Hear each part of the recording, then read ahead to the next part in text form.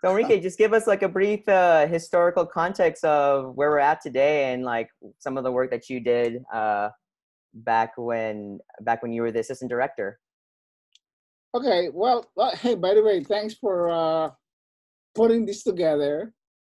Uh, I had reservations because of what was going on all over the place, all around us right now. But anyway, yeah, uh, my uh, my I guess the way I look at it is that uh, we my role here started from at the very beginning, really ultimately trying to lay the groundwork for what yeah for the for this final establishment of the major. Uh, you know, I, I came to UCLA in 1990, maybe 1989 and uh, uh, at that time, the center itself was in transition. So that, uh, yeah, and it had no permanent director then. But a year after I got there, Don Nakanishi, after his uh, battle for tenure uh, at UCLA, also got appointed as the permanent director of the center. So that, that's, uh, and well, as soon as we got together, he appointed me. Uh, one of the things he wanted me to do was to take charge of the academic programs. I, I guess uh, he figured of all the people the, in the in the center staff at that time, uh, I was the only one with a PhD, so to speak. So I could deal with the egos of uh, those PhDs who would be, you know, the faculty uh, affiliated with the uh, with the center. So uh, that position was really to put me in charge of the academic programs. This program had that was the MA program in Asian American Studies, the only one of its kind then. And uh, at the undergraduate level, uh, there were certain courses uh, about Asian Americans, but nothing really very much organized. Although you know, there were a, one of the most notable courses that the, off, the center was offering and managing were Asian American experience classes. Uh, for example, Filipino American experience, which was taught by Uncle Roy uh, Morales. Uh, those of you who um, can go back, Japanese American experience, which was uh, uh, taught by uh, another researcher at the center, Yuji Ichioka and uh, perhaps a class in Asian American literature, Asian American psychology, and so forth and so on. Uh, Dom Magwili, who was with the East West Center, uh, uh, uh, taught a class on Asian American theater. So those are some of the things uh, I remember from this period. Uh, one of my, you know, one my my one of my charges was obviously to build the uh, curriculum of Asian American Studies, MA as well as undergraduate. Uh, and uh, one of my uh, one of my goals uh, was to move this assortment of undergraduate courses towards a major, a major in Asian American Studies.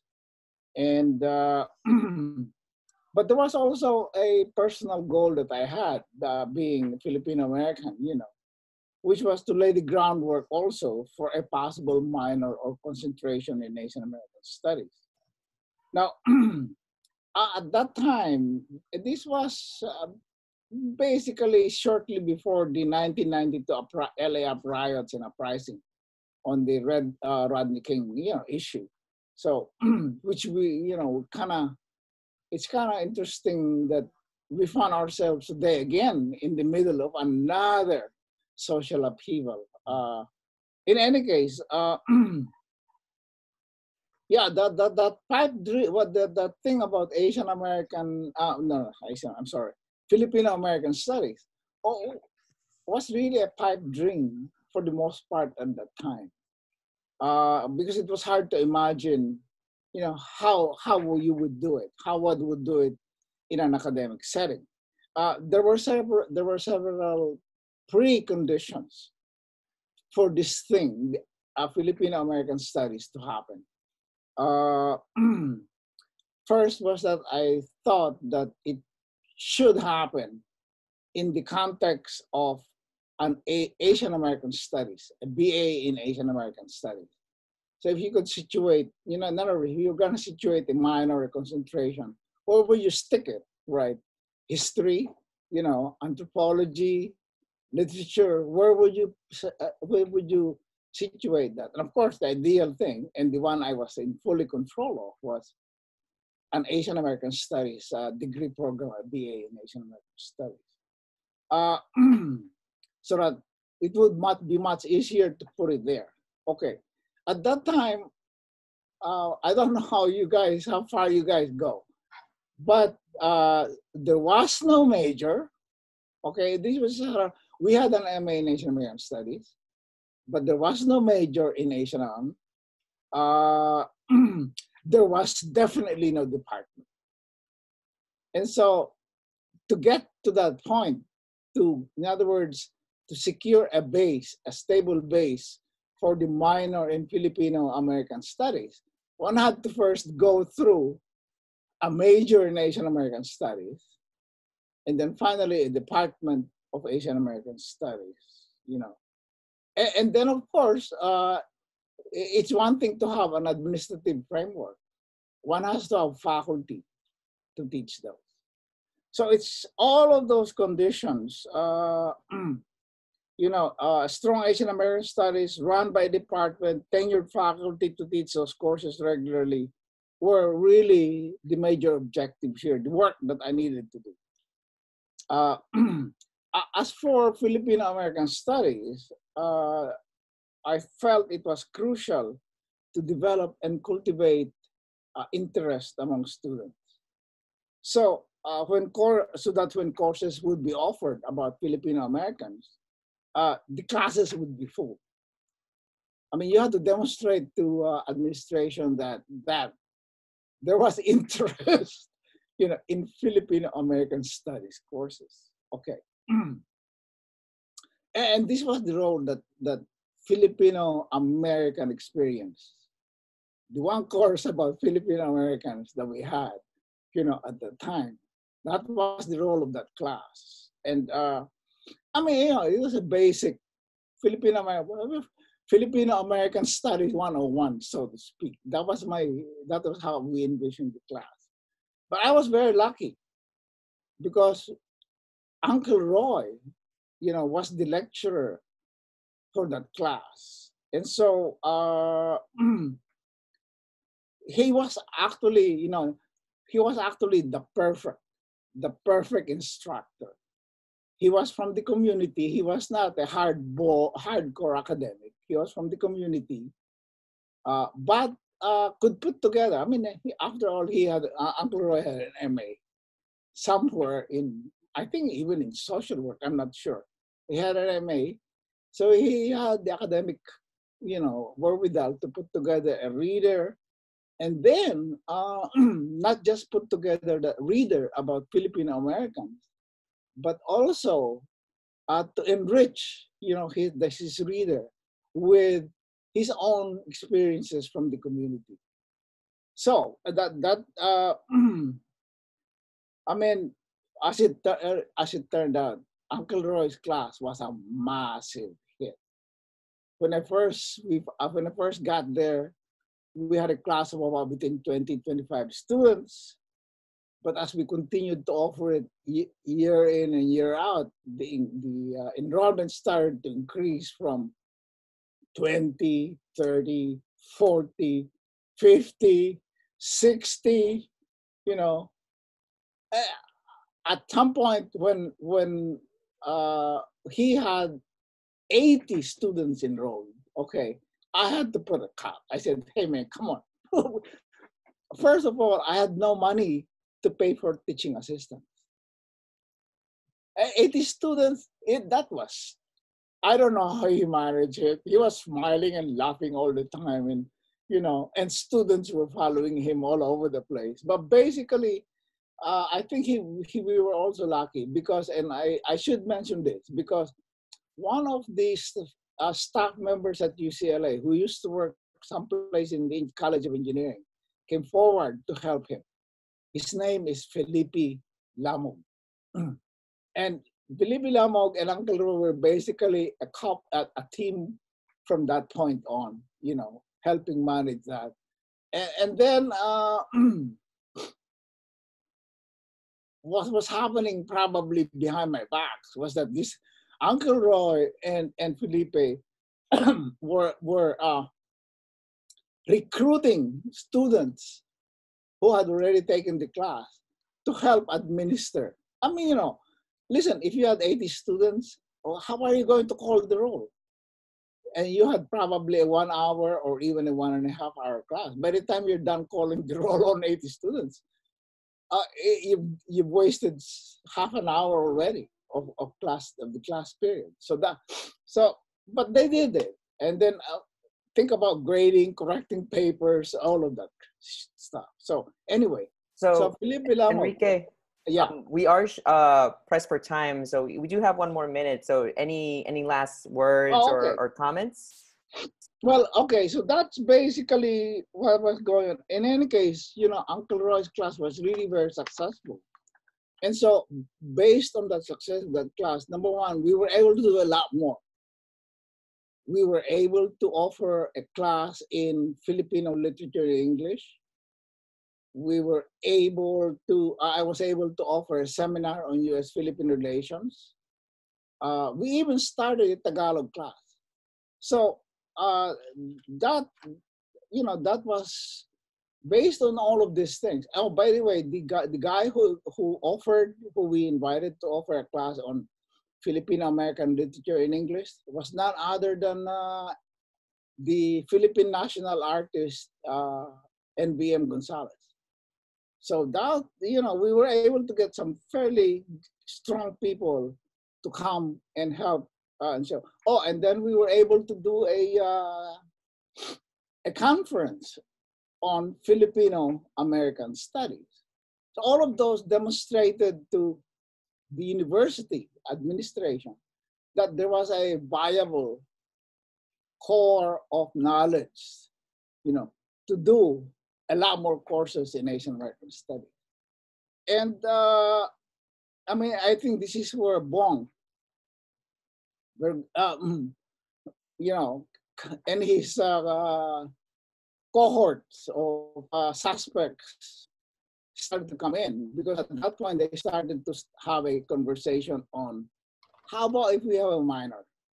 But of course, at that point already, we, were, we, we already had a uh, major in Asian American studies. And what was needed was to establish a department so that then Bong, uh, they would not be up my, you know, uh, picketing in front of my office, but instead we go picket the Asian American Studies Department to ask for a minor.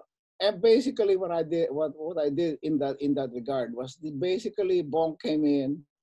We helped identify course possible courses to be included in the minor. and ultimately, you know, that was how that that conversation in Asian American studies uh, and, and Filipino American studies got started. At that point, I was I was also moving on to become department chair of CSUN Asian American Studies. So it was left to Bong and his co-conspirators to figure out how, how to get uh, to the you know if ever and and at this point the, the wheels to establish a department of Asian American Studies were already going were already moving. And I, am just surprised that it didn't get really established until 19, uh, 2004 or something. But with that, with that, I mean, now you had a target. You had a department to pressure students and staff, or, you know, everybody else who, who was part of that uh, uh, campaign now had a specific target, which was the Department of Asian American Studies.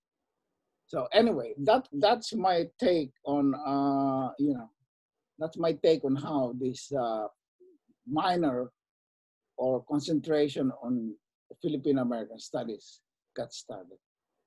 so Thank you so much, Enrique, for for for giving us that history. Uh, I know you and I we talked a little bit about that uh, earlier this week, so it's really great to hear this and to capture this um, so that future generations of student leaders uh, can know about it. And we'll be hearing from Bong later today too, uh, one of those co-conspirators that you were talking about that was able to uh, push this along. So um, thank you again, Enrique. Everyone, give like a virtual applause for Enrique for um, right. the time glad um, to be to be able to lay something out here. To of course, no, it wouldn't be it wouldn't be uh, uh, a learning experience without you. So I appreciate you for being here. Um, so next, we'll quickly go uh, to Melany De La Cruz uh, Viesca. She's actually the current uh, assistant director for the American Studies Center, um, and she'll speak a little bit to what the value is of having this Filipino Studies minor. Uh, well, thank you to PAA and George for inviting me to be part of this important discussion and celebration. Uh, I am coming more from the 2000s perspective, uh, but I do want to thank Enrique for his insights because you know it's always good for me to also know the history of uh, Filipino uh, studies in our community at UCLA, and so. Um, you know, I'd be remiss also if I didn't acknowledge the graduate and undergraduate students that were affiliated with um, like Asian American Studies and like especially the Committee for Filipino Studies in the 90s that were part of that campaign for Asian Pacific languages and culture. Um, I know Bong was part of that and several other of you on this um, webinar. So I know y'all probably touch about that. Uh, but I do want to note that it, it really is building on these notable structural changes. Uh, once you know the campaign was successful in getting funds to get a lecture for Tagalog classes, the Vietnamese class was transferred from UCLA Extension to Asian Languages and Cultures Department, uh, the establishment of Southeast Asian Studies Center, uh, to a lot of things like the third, like the Filipino Studies conferences that happened in the 90s, uh, to uh, as Enrique mentioned, that we um, established, uh, so the Asian American Studies Interdepartmental Program used to be under the center for 20 something years before we established the department in 2004. And that's when we were actually first able to hire uh, first Filipino professor, Filipino Studies professor, Lucy Burns, in 2004. And Professor Victor Bascara joined the department in 2007. We'd had other faculty in other departments across campus, but again, as Enrique mentioned, having an Asian American Studies department um, really allowed for more resources to support things like a Filipino Studies minor. And so through students, uh, we, we were able, and, and staff and faculty working together, uh, as you mentioned earlier, the concentration, the Filipino Studies undergraduate, undergraduate concentration was established in spring 2009. So shout out to the student activists who did who, who advocate for that that are on this um, event right now.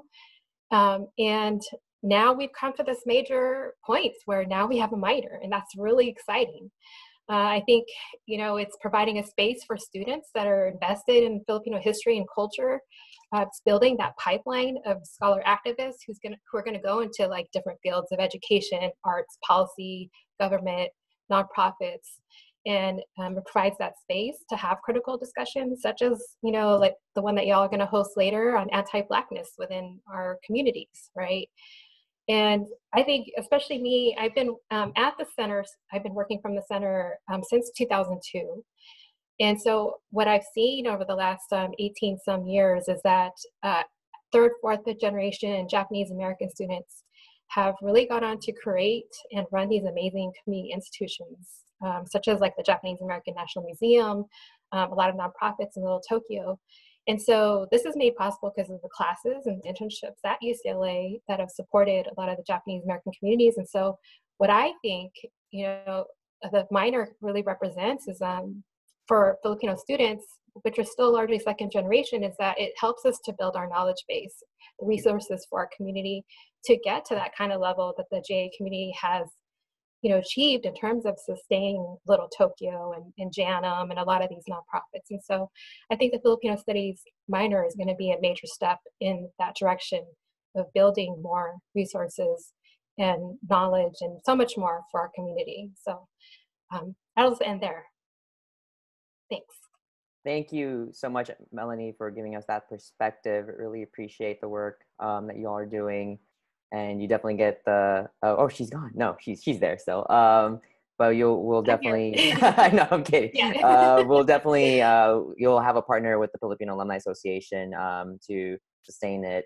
Um, so quickly, we're going to be uh, introducing uh, one of our panelists, uh, so she can talk a little bit about the minor itself, um, since um, there's been some questions about the minor.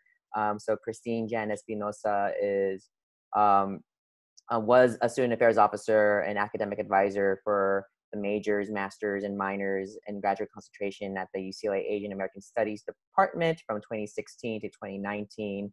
Um, she was part of the tail end of the Filipino Studies campaign, especially working in the administrative trenches, as she says, with uh, Professor Lucy Burns, um, who I believe is with us as well. Um, and now she's currently a doctor, a doctoral student uh, in the PhD in higher education program at the University of Nevada, Las Vegas, and is also a research assistant for a NSF Improving Undergraduate STEM Education Hispanic Serving Institution grant. That was a mouthful, uh, but amazing work, Kristine. So I'm gonna pull up the um, the slides um, that she is going to talk about briefly and um, we can also share these slides with you all as well um, if you would like to. Um, there's some information here that I believe Melany uh, hit on, but wanted to go to, um, was it this slide, Kristine, or was it the next one? This one. So, hi everyone. Um, I am honored to be part of this, and thank you, George and PAA, for um, putting this together. You'll hear a little bit more from me later, but these are just more about the nuts and bolts of what the minor looks like, in case you are wondering. So, just about the minor itself, uh, the minor consists of seven courses and is broken into three parts. So, two lower division courses, two upper division, and three upper division electives. And then the next slide. So, if you wanted to take a look at what those lower division courses are, just at a glance. So, one of them will be taken from Asian American Studies, and then um, most of what you see is uh, really offered in the Department of Asian Languages and Cultures. So next slide. And then this is just a glance of the upper division courses that are required. Uh, and again, same thing, the one of the upper division courses will be required from the Asian American Studies department. And then the next or the second course uh, is going to be taken from the second list. And to complement what Enrique said, uh, shared earlier, now in Asian American Studies for upper division, uh, these Asian AM courses, there's now a cap of 60 students. Next slide. Uh, and then finally, these are the electives. So students cannot really replicate these if they've already um, taken it for the other two upper division courses, but certainly this is the list that exists. So thank you. Thank you, Kristine, for that quick uh, overview of the minor. It, uh, it, looks like a really good list of classes. um, I just wanted to like uh, leave this here for a bit for people to read because I thought it was uh, pretty powerful. Um, you know, education, Filipino studies is an education to respond to the state of the world and imagine otherwise. Uh, as current and future members of the global workforce, UCLA students need an education that equips them to respond to the state of the world this culturally and socially focused program builds awareness and competency of UCLA students. Um, and I just want to pause here to again say uh, many thanks to uh, Lucy, Professor Lucy Burns, who provided these slides for us, and to Meg Thornton. Um, and um, give me a second, I'm forgetting the first name, Meg Thornton and uh, Professor Allison Tintiangco Cubales for providing these amazing pictures of, of history um, so thank you again, Kristine, for providing that. Um, I will stop sharing and we'll go into the meat of today's uh, discussion. And we're going to be introducing the panelists and the moderator uh, for this uh, 40 minute ish discussion on, you know, their involvement with the campaign, uh, what it means to them, and what it might look like to look uh, to move forward. Um, so I will do uh, a round of introductions. Um, it'll be quick and brief, y'all. Um, so bear with me. I wanted to introduce first uh, R. Bong Vergara. Um, he was a director of community uh, for of the Committee for Filipino Studies from 92 to 95. He had a BA in Asian Am in 1997 and has a joint MSW MA in 2001 from UCLA. And he taught Tagalog and Asian Am at UCLA and social welfare at USC. He's currently a research consultant for Ventura County Healthcare Agency on social determinants of health and is a professor at a private university. And he runs a startup called uh, Young Moon that's working on how to harness technology in addressing food, energy, water, health, and sanitation issues. Up next, we have Michael De Vera, um, pronouns he and his, um, graduated from UCLA in 2009 with a BA in anthropology and with a minor in education and Asian American studies. Uh, he went to uh, he graduated from Seattle University with an MA in Student Development Administration. Uh, he was the campaign manager of the Campaign for Filipino Studies from 2008 and 2009. Uh, was part of the movement to successfully establish the Filipino Studies concentration in April 2009. Big Whoop um, has a student affairs and academic affairs background and is currently the associate director for graduate advising and student services at Northeastern University in San Francisco. Welcome, Michael. Um, we already mentioned Kristine, um, who was the student affairs officer and academic advisor at Asian Am um, Studies Department um, from 2016 and 2019. Um, next up for one of our panelists, we'll have we have Natalie Noodle Bagaporo. She recently graduated from UCLA in 2018 with a BA in Human Biology, Society and Genetics, and a BA in Asian American Studies. So you can do both North and South Campus. Um, and with a minor uh, with the with a with that concentration, of course. Um, she was the Samahang Pilipino president from 2016 to 2018. Heavily collaborated with Kristine, Kristine on connecting the student advocacy to administrative structures. Um, was joined in um, through other um, leaders at the time, Angelique and Kevin Casasola.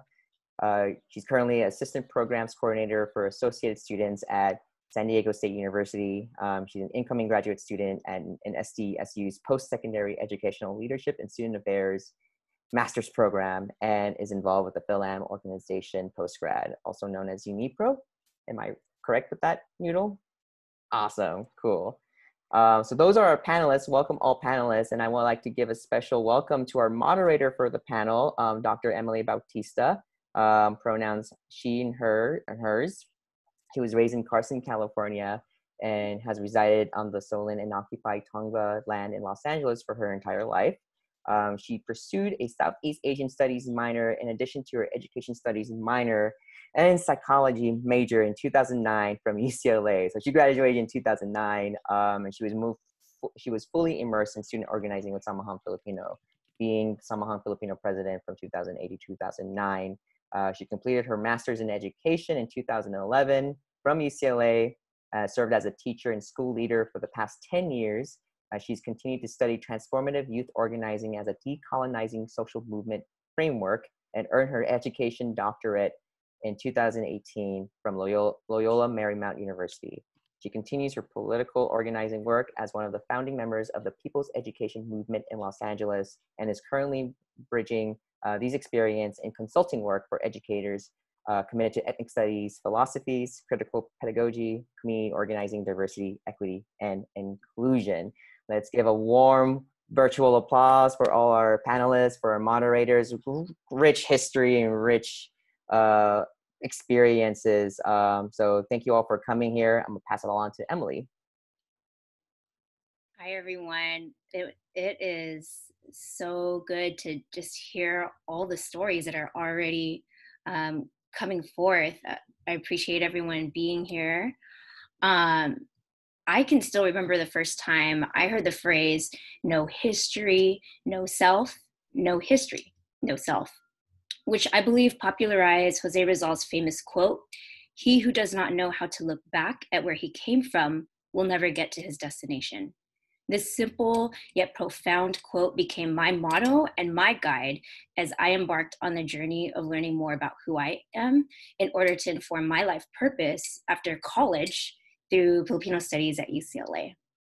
So just to kind of share with everyone who's here today our structure, I am we're going to have two rounds where the where I'm going to be asking a series of questions.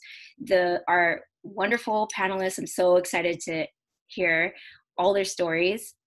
Um, they're going to be responding to the different uh, parts of the questions that resonate most with them. I will be taking notes as they as they talk, and after the round is completed, I'm going to go ahead and make some connections between what the ideas that the panelists shared, and then we'll all transition into the next question. Uh, so, all right, first, our, for our first round, my questions are, what was your entry point into Filipino studies? What inspired you to embark on the journey to campaign for Filipino studies at UCLA? And at what moment in time did you join the Campaign for Filipino Studies and what made your context unique in this decades long struggle for Filipino studies at UCLA? So we'll go ahead and start with Bong. Good evening, everyone. Can you hear me if I talk like this? Okay, I was uh, in 91 when I came in, I was uh, bio pre-med, so I wasn't a natural fit for curricular reform activism. I needed some external things to nudge me into activism. Um, and same is true for many of my friends who joined me.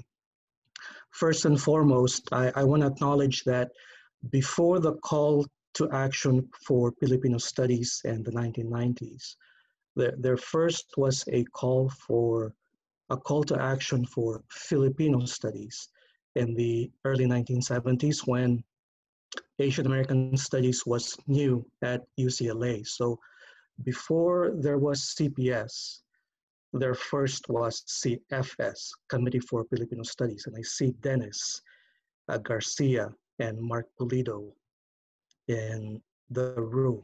They were they were the leaders of CFS when um, many of us came in in 91. So um, bring you back to 1991, 1992.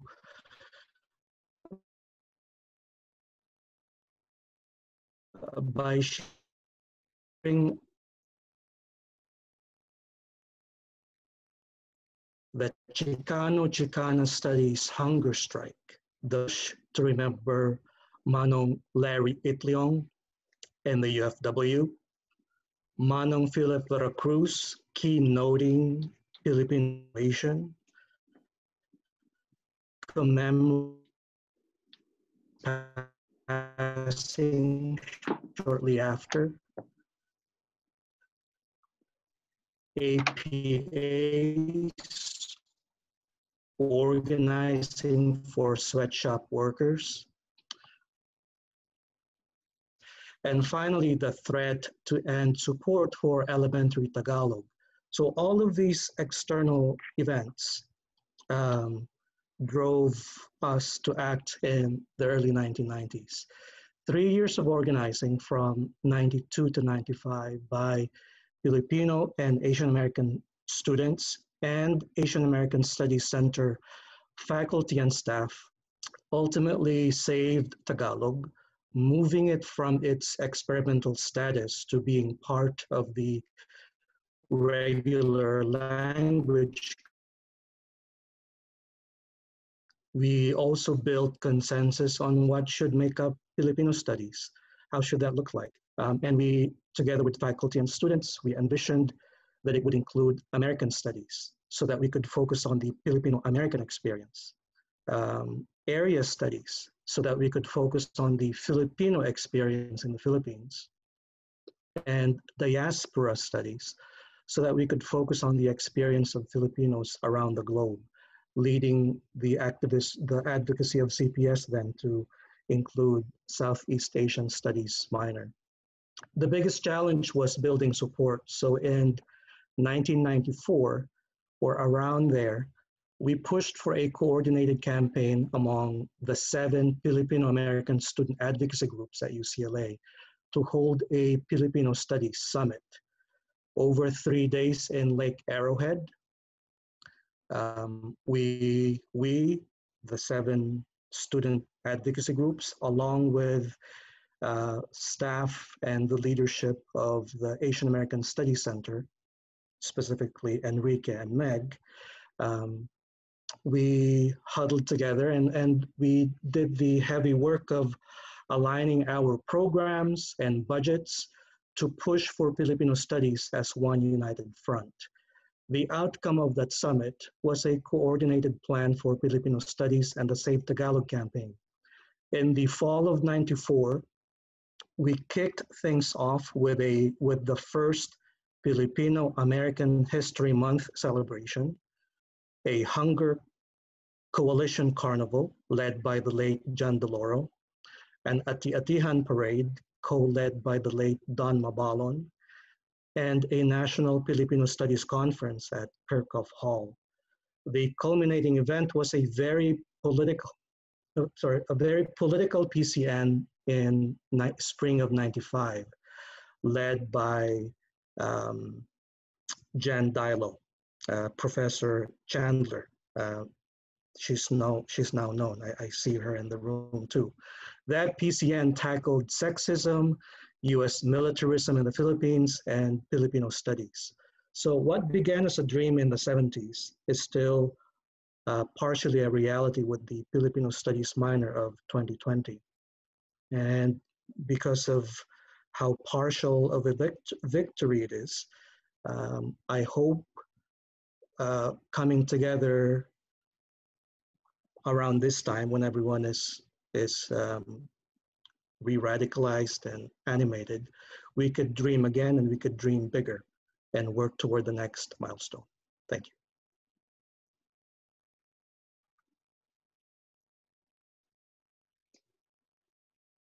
Okay, I guess should I go? Can you all hear me? Just want to make sure.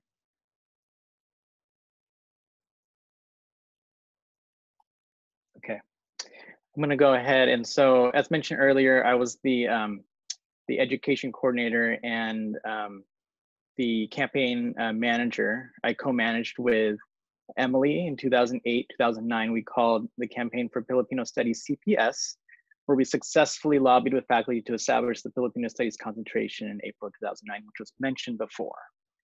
Um, I was part of the academic committee, um, and it was the initial driving force behind C when CPS began. Um, so I'm going to talk about some challenges. And before I go into the challenges, I think it's important to know the context in which we were living in, because um, that itself was a challenge. Because at the national level, we were going through a recession uh, during a time when our first African American president was elected. And that in turn influenced campus politics because budget cuts were on the horizon. Students began organizing around the pledge referendum to help protect some of the very core services and programs that the Community Programs Office uh, provides like space and spear. So as an org, SP had multiple large-scale campaigns to juggle. Oh, and not to mention, uh, two of our community members were running for USAC positions.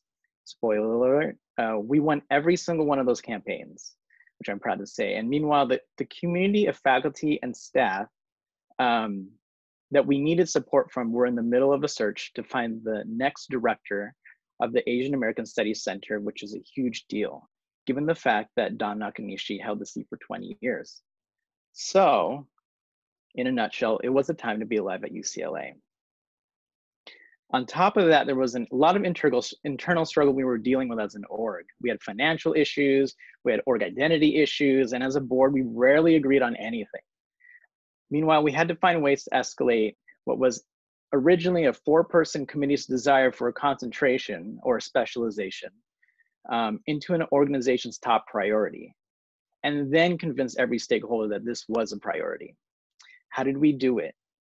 We spent time power mapping, brainstorming how every component of the org can push the campaign's agenda, and also coming up with a slogan that would ignite some visibility. We called it PAVE, Pilipinos for Accessibility, Visibility, and Expansion. And that was just the summer, because when it was time for fall, our approach was to use virtually every existing event and opportunity as a platform for PAVE. In October, for PAM, we had launched PAVE through an energetic general meeting. Abby, our cultural coordinator, uh, created a beautiful exhibit that illustrated the potential for Filipino studies inside Kerckhoff. Um, during the study, Students of Color Conference, we held a Filipino Studies Caucus. So the Students of Color Conference that year was actually at UCLA. We uh, held the Filipino Studies Caucus uh, with reps from other schools to spread the word on our initiative.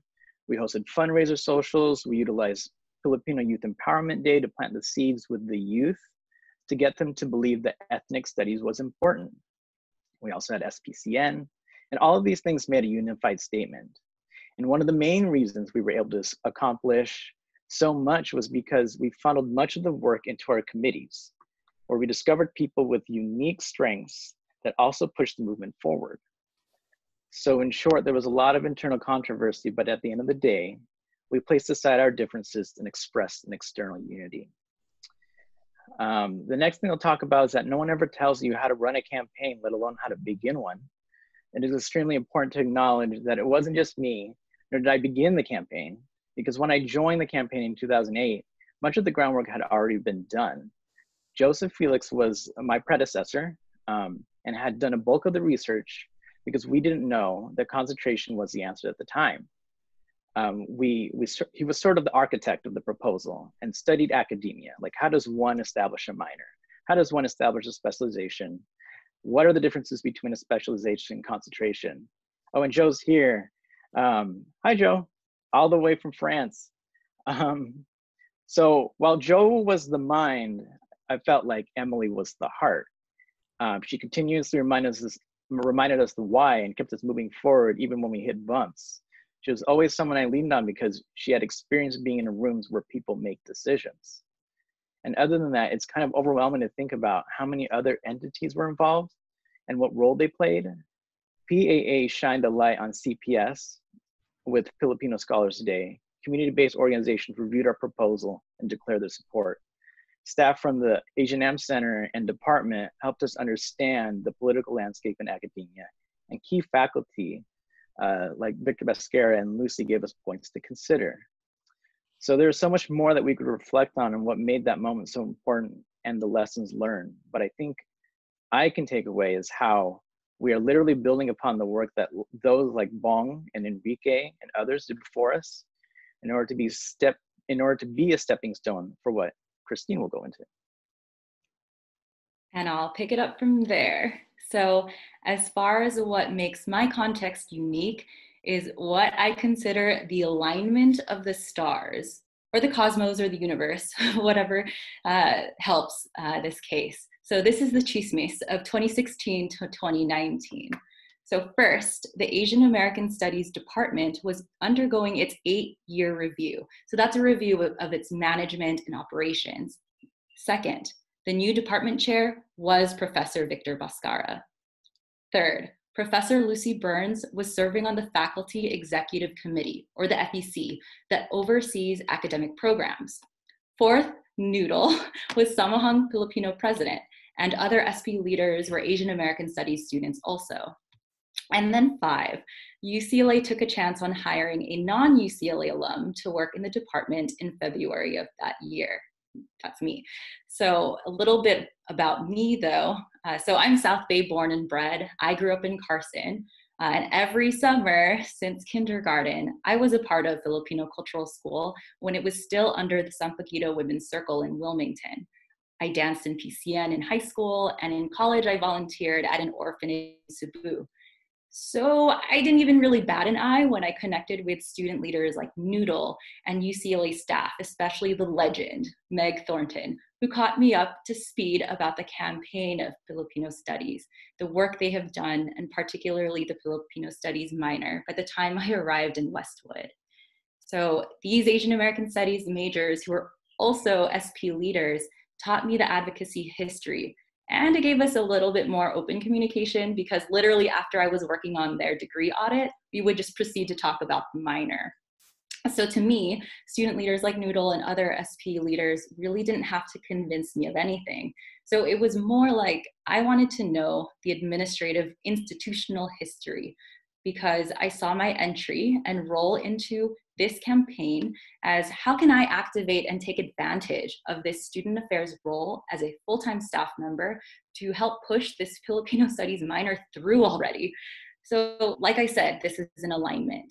So at this point, Professor Bascara, the new department chair, and Professor Burns were the two faculty members in the department regularly offering courses in Filipinx studies, as well as overseeing the SPCN student-led Asian Am 95 class. And then with Professor Lucy Burns in FEC, it gave her and us access to successful and unsuccessful minor proposals being reviewed. Literally, these are models that we just worked off of to set up the minor proposal. And then the eight year review, that was strategic in two ways. So, first, behind closed doors, I explained to undergrads who were participating to verbalize their concerns and needs to the external reviewers who were evaluating the department, including talking about the informal and internally managed Filipino studies concentration at that point within the Asian American studies major.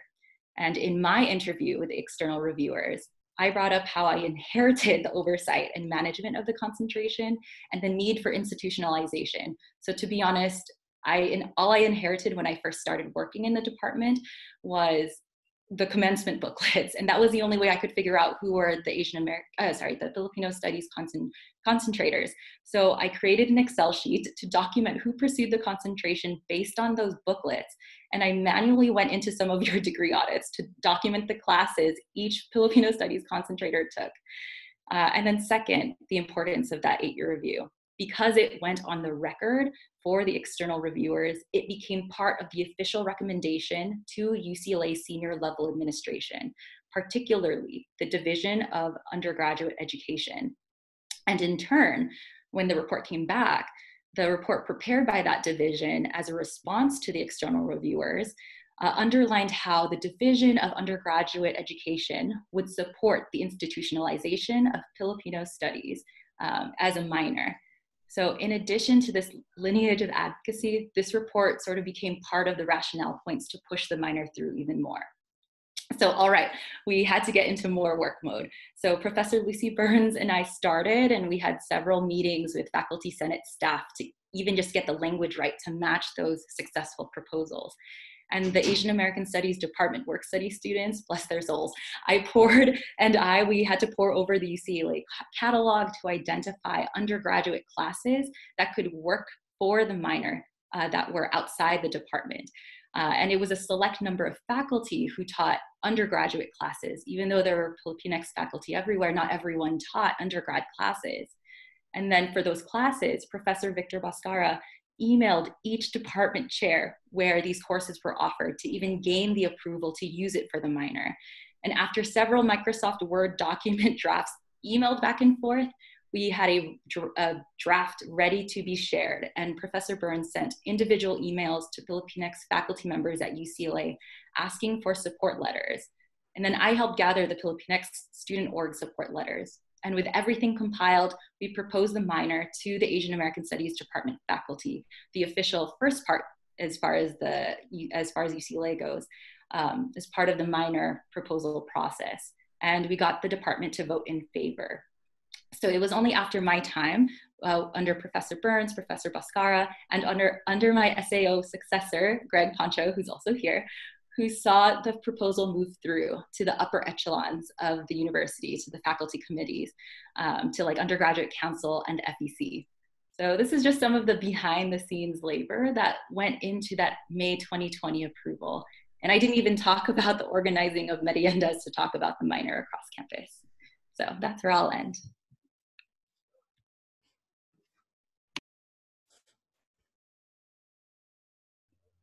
Okay, I'm just gonna hop right in then. Thank you, Kristine, panelists, everybody. It's wonderful to see y'all here.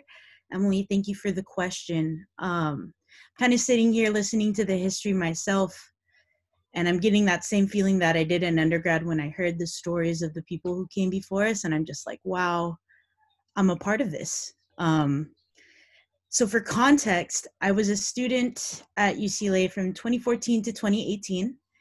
Big notable thing that happened in the year that our CPS was going on was the transitioning from President Obama into President Trump. Um, there was a lot of unrest, I think, on campus in communities, marginalized communities, and amongst our own community.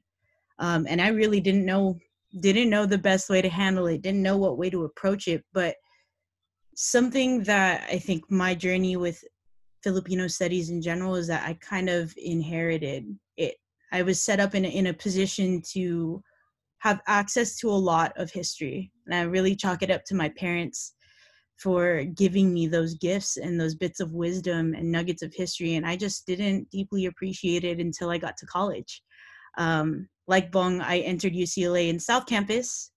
Thought I was going to be a doctor, so I came in biology pre med.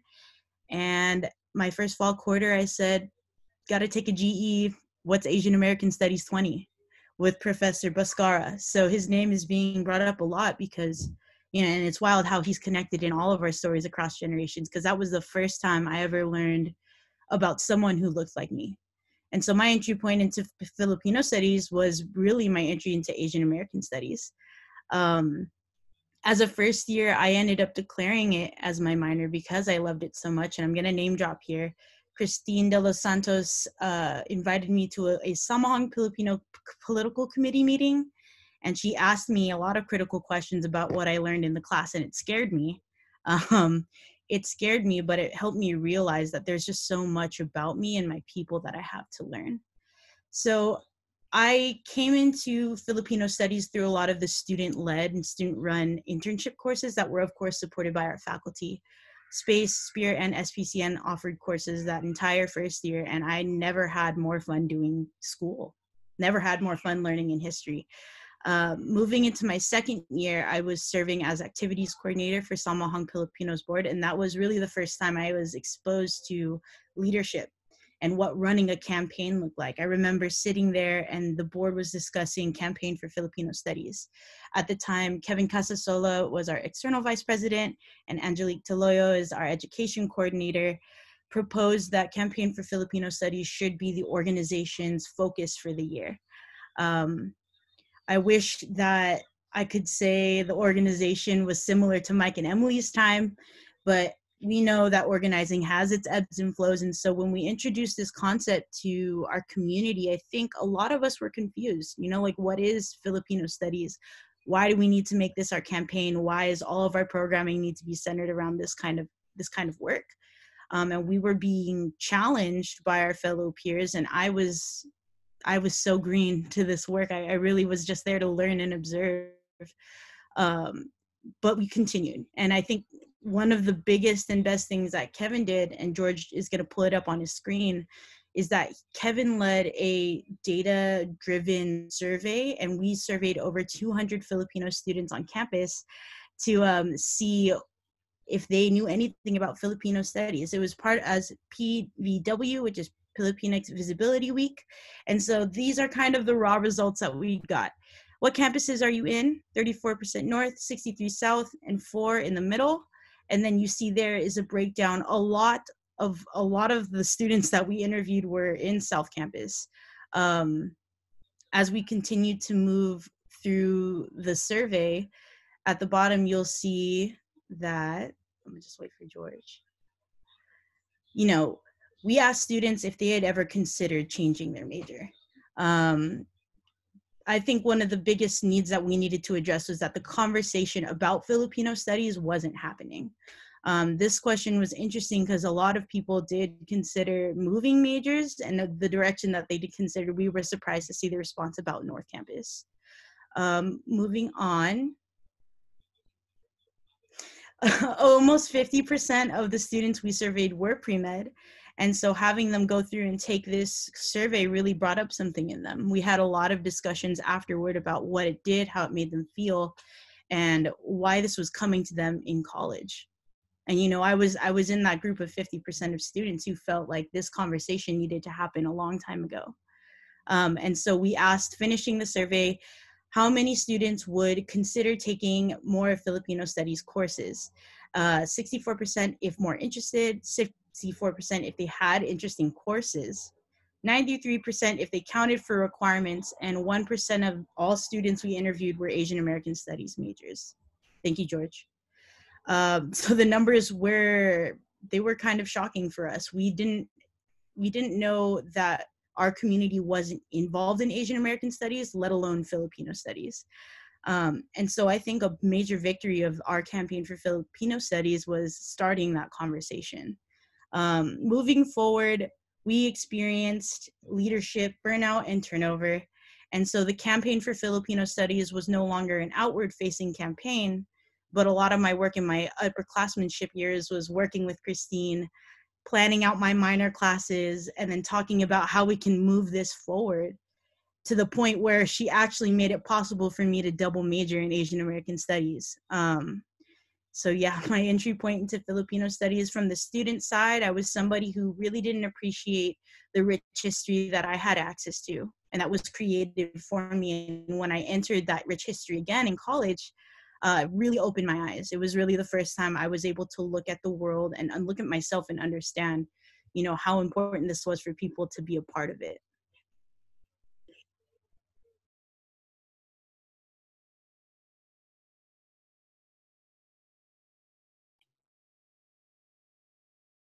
And George, I think you wanted to uh, introduce somebody into the room.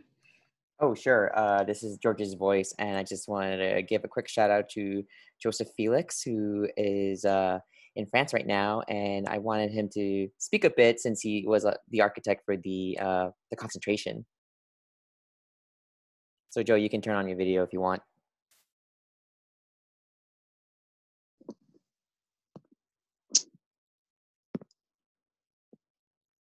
Hey everyone, I'm just give me a moment. Uh, want to see if you can all hear me. Yeah, it says I can't start the video because the the animator disactivated it. Is there a way to like make it possible for me to activate my video or ah there we are. Uh, ah there we are. Okay. Ah there we are. You're welcome. Okay, so hope you can hear me all right. Um, yeah, greetings from Lyon in France. Yeah, it's uh, it's like 4:12 in the morning here, so so pardon me if I look a little bit phased, but um, but yeah, it's like really great to like be with you all to see a lot of familiar faces. Um, this is like completely surreal right now. Um, so basically, I just wanted to talk a little bit about uh, well, the groundwork that was laid during my time at UCLA. So basically, I was um, education coordinator with Samahang Pilipino, uh, 2007 2008. And basically, the context was quite particular in the sense that um, basically within the organization, we had been sort of noticing a, a general feeling of depoliticization, you know, within the Filipino American student population in the sense that the demographic of the Filipino American students that were getting admitted, um, it was fairly clear that they were coming from more, well, more socioeconomically more privileged backgrounds. And so as a result of that, uh, you know, despite you know all the student activism that Samahang Pilipino was involved in, was historically involved in, true. It was it was a bit difficult trying to you know rally people around causes that we felt at the time that a lot of our peers like couldn't really quite connect with, and so part of the reason why we had ended up choosing CPS as you know the campaign like during my year on Samahang board was specifically because we really needed to find an issue that could be really directly relevant to students. And actually, even before choosing CPS as the as the topic uh, of this campaign, um, we actually did a lot of social investigation. So within the academic committee, so with um, Mike, uh, Emily, and then a lot of other names I can mention, uh, Joanne Denganan, uh, Francis Borgona, and Emily Bautista. So basically, we uh, what we did is we we distributed a lot of surveys. Um, we discussed a lot in general meetings, and it was true that the general idea was that there was a lot of interest in um, Filipino studies, but quite simply that the word wasn't distributed, or at, at the very least, um, it wasn't like publicized as well as it could be, or um, quite simply, you know, it didn't really have the visibility that you know would have been necessary to really have mobilized forth. And so that's from there that the need for Filipino studies really, you know, came about, and it became quite an issue the next big challenge was finding a way to you know mobilize around this issue and then try to get this sort of like quick win because obviously we you know after a bit of research we realized that having a filipino studies minor was actually you know quite difficult to achieve because it required you know as um, as uh, Kristine had mentioned, you know, talks with all these different entities, academic senate, faculty executive committee, etc. So this is obviously something that we couldn't achieve in a year. Um, what we had eventually come up with was indeed this idea of a concentration within the American Asian American Studies uh, major, because it had the advantage of not having to go through all these administrative entities and um, just in general terms of resources, taking advantage of the resources in terms of classes and professors that already existed and trying to find a way to organize basically all of this that already existed into some sort of program. So this is something that um, me and my committee, in general, all of Samahang Filipino that we worked on, that we publicized a lot during that year. Uh, we crafted um, a proposal, basically, that detailed, um, you know, all the resources that existed, um, basically, you know, how relatively not difficult it would have been to organize this into a program, and then you know point by point all the different questions that could have you know been used to sort of oppose uh, oppose this movement. And so this is something that wasn't finished during my time but which uh, um, mike which is my successor had brought up. This is something that had continued and i'm really glad to see that just a year later he was able to actually you know he and you know obviously everyone emily and you know all the orgs were able to you know secure this concentration a year later. So i found you know that was really awesome. Um you, you know and i remember going on facebook like you know when i heard the news about this minor and then like seeing that it happened and it's like really all surreal to me because it's incredible how you can like be involved in like a movement like during your college days and i was like a really you know big activist. This is like my big filipino phase because i didn't really grow up filipino so this was like you know this is really my heyday to be a filipino essentially. And uh, and uh, after that well i went to france to teach english. I ended up living there. I became french. And needless to say it's like so surreal that this movement that you started when you were a student and that you sort of like never really forgot, but you know, it you went on to do other things. Like that movement that you started would actually like be carried on by future generations and would actually produce something like 12 years later. I find that like so freaking awesome. and um, you know, I you know, I definitely think that really does speak to the power of being able to, you know, yeah to really fight and it really was something that i believed at the time but i didn't really think you know i you know you you believe in it but you don't really see the concrete aspect of it right away. But it's true that i think that we all did believe that this is we were part of a movement. We always talked about like you know being part of the struggles of the past and um, you know talking about the manongs and then talking about all the previous efforts for cps etc and that we were inscribing ourselves in that movement and that movement would be carried on by future generations. And i'm just like really extremely glad that like that actually happened you know? Like not that i was skeptical or anything but it's just like so beautiful to see that all the future generations like kept up the struggle. And now that we've achieved something that's like really awesome like symbolically speaking it like gives us a lot of visibility. And i think that's exactly something that you know we as filipinos Americans, you know, we definitely need as a community in order to really, you know, anchor ourselves within the American scene and to really, you know, gain all the benefits that can be had in terms of like political advocacy and whatnot. So anyway, I didn't really prepare my speech. I'm just sort of like reacting, you know, just on the fly here. But um, basically, all that to say that I'm just really happy to like see all of you, and um, yeah, definitely let's keep this movement going. Thanks. Wow. Thank you. Thank sorry, you. Emily. Can I do a quick announcement? Yes. Um, yes. Again, thank you, Joe. I'm so sorry, Emily. Uh, we are uh, running late. Um, so we will be pushing the end of the time to 7.45, 7.50. So I do apologize. Uh, that's a little bit over the time that was stated, but I think these are great discussions and I don't want to stifle them with time limits as well. So um, keep going. Thank you, George. Thank you. Um, it has been incredible to hear everyone share their stories.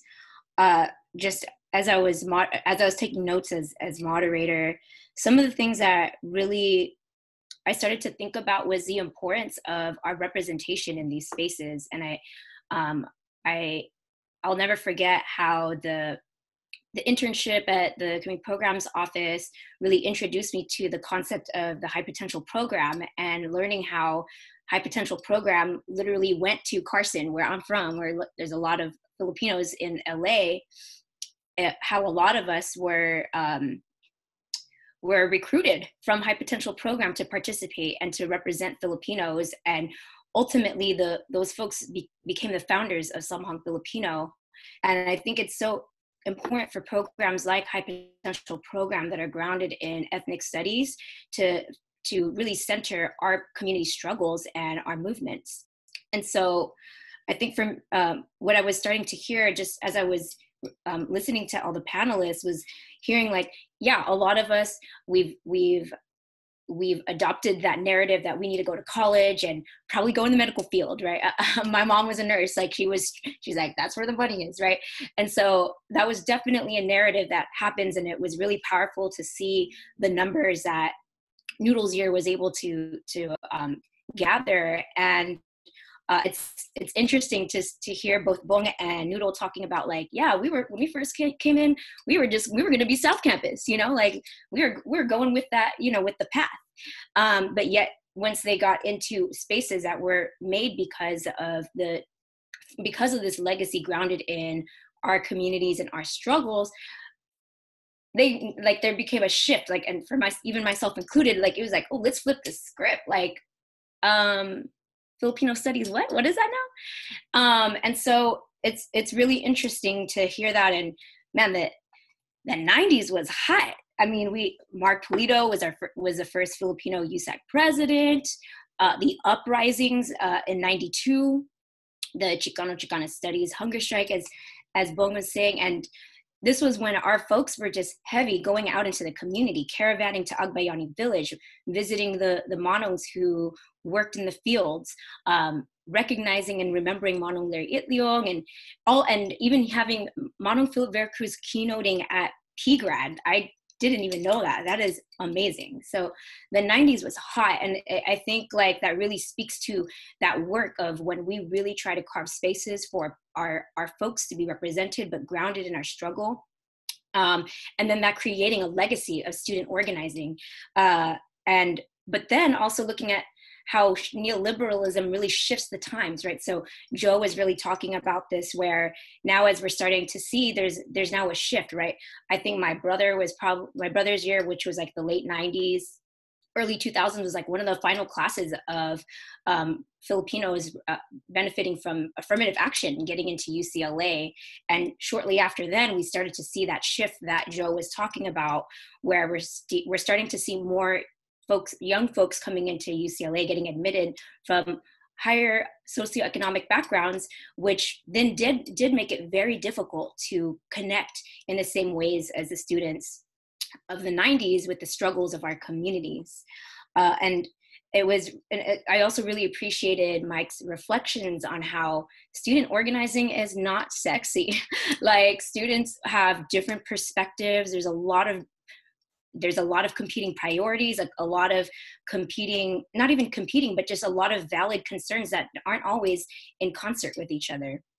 Um, but again, it, um, it was really, really powerful to hear Mike illustrate the ways in which that um, when when organizations are really unified and they they link every all of their resources, that's how you can you can accomplish like in our year three simultaneous campaigns right? That's that's powerful and that that really speaks to um, really struggling through that.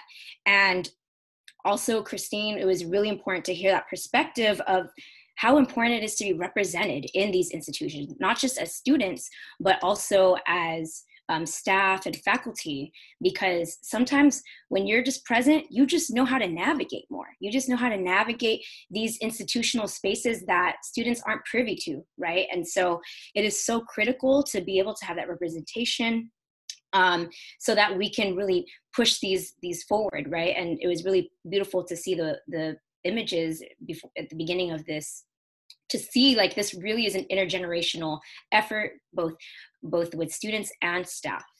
So yeah I, I that was so some of the thoughts and reflections that i had from this first round. Um, and i want to just add on when i was at ucla filipino studies helped me understand why i struggled with self-hate my parents even my extended family at times.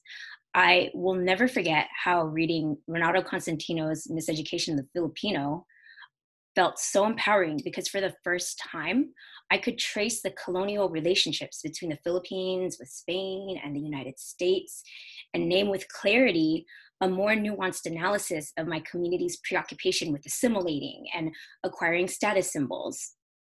So, when Filipino studies frameworks were coupled with my education studies background, I began to understand the various ways in which white supremacy, settler colonialism, chattel slavery, imperialism, and capitalism are intertwined and institutionalized in the United States legal, political, economic, social, and educational systems. In fact, I credit Filipino studies at UCLA with helping me develop a more critical understanding of my own Southeast Asian Filipino identity, which has deeply informed the ways I continue to show up as an ally, working in solidarity in multi ethnic spaces and with other communities who have been minoritized both in school and community organiz- organizing contexts. This experience is was not only empowering but healing. So my the final round of questions to our panel here is what does the institutionalization of the UCLA Filipino Studies minor in 2020 mean to you? How can Filipino studies help serve our communities and support our efforts to be allies in solidarity with Black lives and other communities, especially in this historical moment? So we'll go ahead and take it to Bong. I'll, uh, I'll focus on the how could Filipino studies serve communities, um, primarily because my friends and I, we had to grapple with that question so that we could explain what we were doing uh, to our loved ones. And the answer I remember giving was that Filipino studies links representation with problem solving. Um, to get your needs met, we, to get our needs met, we must exist first. And in the early 1990s, our community largely felt invisible, even in LA. So a lot was invested in being visible to the mainstream, not just on the streets, but also on the social and cultural scene and policy agenda. Um, there was an effort to count our problems. Um, my friends and I were members of groups that made use of census data and pushed for the disaggregation of the Filipino American census count. Um, because the impulse was we must be able to say 1 million Filipino Americans live and work in LA County, and 6% of them face absolute poverty that is concentrated in downtown LA and that 25% of youth aged 14 to 18 years had major depression and have attempted suicide, We wanted hard data like that specific to our communities.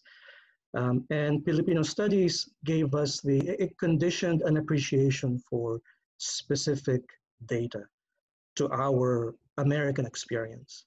Um, Filipino studies serves the community because it has an important role to play in enabling us to do this kind of specific data-driven analytic work. To counter institutional racism, we must be able to document racist events and be able to analyze them so we could find short-term practical rule changes and push for long-term system to do that well we need folks examining our American experience. Filipino studies serves the community because it delivers, also because it delivers visibility to our issues. And it provides a consistent, sympathetic attention to our specific American experience that begs us to not look away. Uh, Filipino studies reminds us that our American experience is bound up with the Black and Brown communities' long and unrealized pursuit for equity and justice. I want to end by this reflection by acknowledging that in the current environment, we need to make good use of both representation and problem solving, not only as tools for relief, but also as forms of resistance. That PAA now seeks to link Filipino studies to a campaign on ending racism is what the long struggle for Filipino studies demands of us. And in this light, PAA is wise to want to engage in solidarity work, to want to engage us in um, social justice work along with other brown and black communities. Thank you. Thank you, Bong. I think you said it well. Um, working in higher ed, I understand the importance of the creation of a new minor. And in this case, having a minor is going to reel in a new level of visibility and accessibility. Um, whereas a concentration, and correct me if I'm wrong, a concentration require you to major in Asian American studies.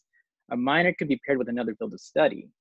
Um, the fact that the minor is an interdisciplinary uh, program promotes the idea that ethnic studies is not siloed and it bleeds into every fabric of life. Um, so therefore, you can be a South Campus major and still engage in Filipino studies. It matters now because there are still in many parts of our society where Filipinos are severely underrepresented. There are many assumptions made about our community, and as we have learned with recent events, we must be shining lights on our stories. Otherwise, the stories will be told for us. Um, and just to connect it to current events, uh, with like the murder of George Floyd, which forced Americans to shine a mirror on on today's society, um, is important, but how many members of the Black community have to die before we act? Um, having education programs like the Filipino Studies minor is a way to promote civically engaged minds. And now more than ever, our community must lose the sense of complacency, must be involved in the dialogue about racism and stand in solidarity with our Black community. Thank you. Thank you, Mike. And thank you, Bong. Um, so I was just thinking about like, what does it mean to me? And I mean, while we definitely had many laughing, crying moments uh, in supporting the administrative behind the scenes effort, I feel like really indebted, especially listening to everyone, to the years long advocacy and struggle behind Filipino studies before me. And although I was not a UCLA alum, I broke down in tears when Lucy texted me or Professor Burns texted me that the Filipino Studies minor was approved. I was just bawling. My, my parents were confused. Uh, what this journey highlighted to me was the importance of different people in the movement. Uh, in addition to students, I, I, do want to affirm the importance of working in collaboration with faculty and staff. Uh, and that's really what um, Dr. Bautista or Emily uh, shared with us Uh, and I even think, if I remember, like Noodle and I would have this conversation just about how this cannot be a student only advocacy effort either. Uh, and students cannot be in opposition to faculty and staff. Uh, instead, the minor proposal needed to have engagement with faculty and staff because it is the faculty and staff who have access and are privy to inner university workings. Faculty and staff can also have conversations with senior level administrators in a different way. So, what I'm really trying to say is we cannot work separately from each other. And this is a recognition of decades of, of effort of students, faculty, staff, and community members.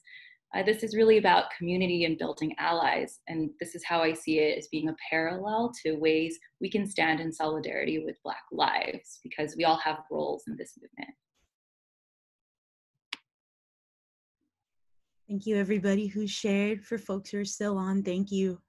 I remember receiving the news that the minor had passed on Instagram. Um, funny how information travels so quickly, but I I read it and I was sitting in my room and I was like that, just like that, just like that. We're a part of this, and UCLA has this, and now it's a, a lot of universities, my own especially, has been asking how they can bring that to where we're at. Um, what does this mean to me? Ethnic studies is powerful. Filipino studies is powerful. Um, in 2016, when CPS was being run, uh, there was also a potential for defunding the ethnic studies department at SFSU. Um, SFSU is the home of ethnic studies, and it was actually going to be their 50th. It was their 50th year, yeah, in 2019.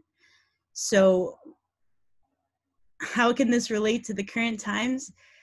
The ethnic studies strike at SFSU, Black organizers, students, and faculty were advocating for one, increased access for Black students to the university and to a Black Studies department. That was the longest student initiated ran strike in the United States history. Um, and it's the home of ethnic studies. And so when I think about what's happening right now, right, I see so many parallels. Filipino studies and education itself for our community, it is a tool and a key for liberation. Um, I personally have never felt more powerful knowing about myself, my family, and my community, understanding our history, and then imagining futures and where we can be. Um, what we're seeing right now is this mass education of, of a lot of people who are having to confront things like anti racism, anti blackness, and white supremacy, including within our own community. And so the institutionalization of Filipino studies at UCLA is just the start, I'm hoping, of many, right? Where is our place in a predominantly white institution? Where is our story being told? And now that this is formally in, in the setting of our academia, not only run by student classes, but now offered as a minor, you know, this is a step in the right direction. You got to bring it back to the no history, no self. Um, I am so much stronger because I know. And I've unlocked so much within myself in my area because I've been able to learn through Filipino studies. And so imagine a world where students can engage with their history and feel that same kind of empowerment and go off to do what they were meant to do instead of following the beaten path. Um, I really see Filipino studies as that bridge for us to start reaching over into other communities and understanding where we connect as well as pushing us forward. So go Filipino studies, go UCLA. I am so happy to be here. This has been such an awesome experience, and um, this is only the beginning of the next chapter.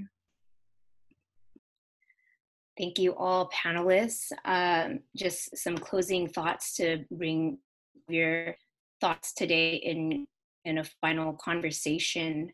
Um, I think a lot of what you all are speaking to in this round of the panel really con- really just speaks to the the impact of imperialism and colonialism on our communities right 1905 st louis world fair our people are being brought as literally museum ex- exhibits for people to gawk at and take pictures and having that that um, that gaze, that colonial gaze over our people. And then continuing when we're we're fighting for liber- our independence from Spain, and when the United States comes in for its its own reasons um, to support.